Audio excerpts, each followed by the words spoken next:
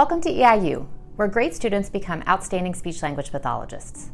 My name is Dr. Nichole Mulvey, and I'm the graduate coordinator and an associate professor in the Department of Communication Disorders and Sciences at EIU. Today I'm going to be showing around our building. In our 14-month program, students spend four semesters on campus and two semesters of internships in the United States and abroad. While on campus, students receive instruction from faculty that have worked in various aspects of speech-language pathology. Our faculty not only teach, but they also supervise our students while they work through their clinical practicum. To learn more about our facility and our faculty, check out the Faculty Fun Fact Friday series via the link in the description below. In addition to hardworking and awesome faculty, EIU also boasts a state-of-the-art clinic. In this video, I'd like to walk you through the clinic, show off some of our features, and introduce you to some of the people in it. The EIU Speech and Hearing Clinic is located on the second floor of the Human Services Building. Inside are 10 therapy rooms, a classroom, a sensory room, a video observation room, a waiting room, a materials center, two audio booths, a sanitation room, a teacher's lounge, and an elevator.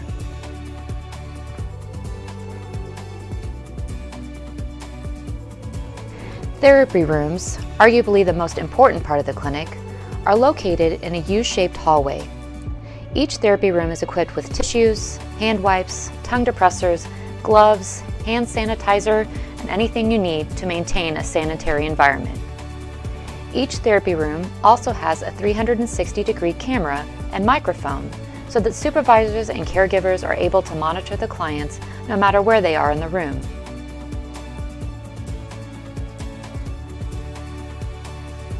There are two larger therapy rooms that also serve as our in-house diagnostic rooms. There is one diagnostic room for children and one diagnostic room for adults. Both rooms are bigger than the other therapy rooms. They are unique from the other therapy rooms in that they have a one-way mirror on one side so that caregivers can sit with faculty during a diagnostic. They also have a second microphone that allows the caregivers and faculty in the adjacent room to listen during a diagnostic. Each therapy room is spacious, wheelchair accessible, and the tables can be easily adjusted to accommodate children and adults of many needs.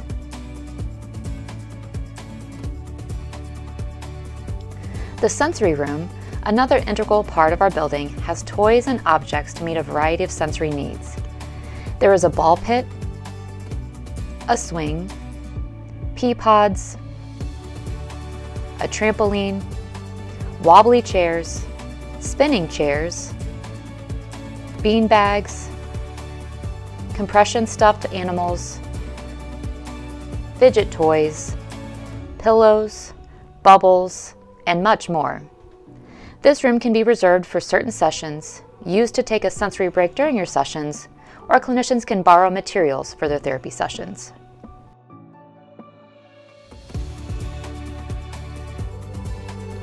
We also have a video observation room for caregivers to observe the sessions in real time.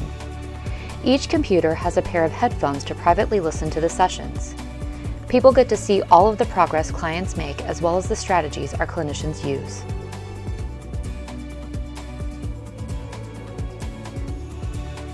Here is a look into our main office and waiting area.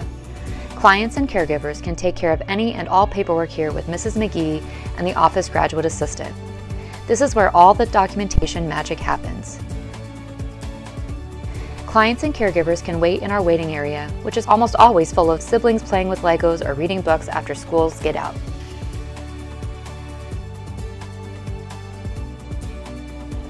Up next on the tour is the Student Clinician's Room. This is where clinicians hang out between classes and sessions and finish any late night homework that needs to be done. The students have a refrigerator, mailboxes, extra storage, a NSSLHA snack corner, a spare computer, and tables and chairs that facilitate group work and study sessions.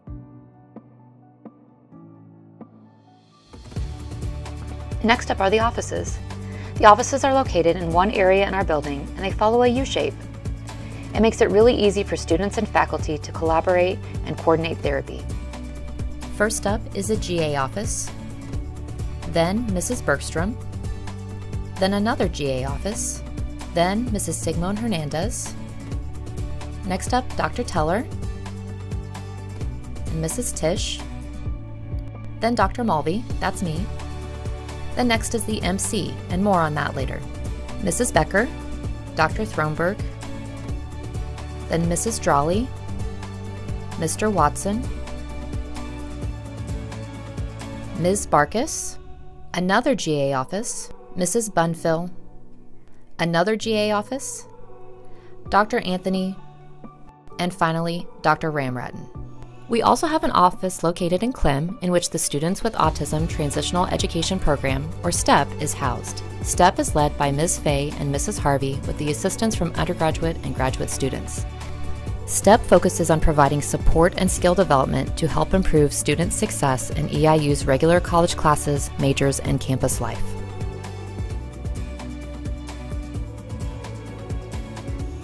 As I mentioned, we also have a materials center, or as we like to call it, the MC.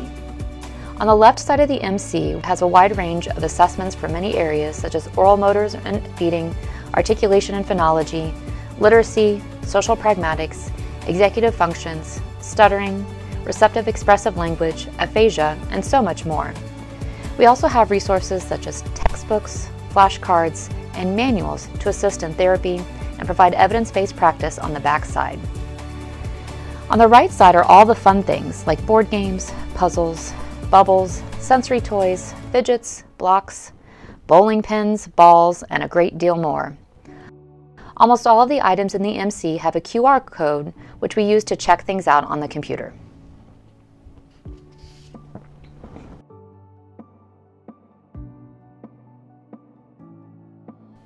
We also have two audio booths, which we use regularly for hearing screenings, central auditory processing evaluations, and full hearing evaluations.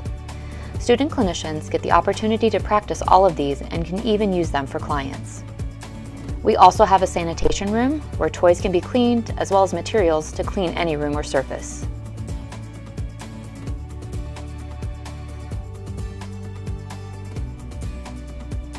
The Teacher's Lounge usually hosts professors getting their morning or afternoon coffee, birthdays and potlucks, and it's our podcast studio. Our last official stop on the tour is the classrooms. We have two large classrooms, one in Klehm and one in the Human Services Building. We also have a second classroom, nicknamed the Seminar Room, in the Human Services Building that we use for small group instruction or a spare therapy room.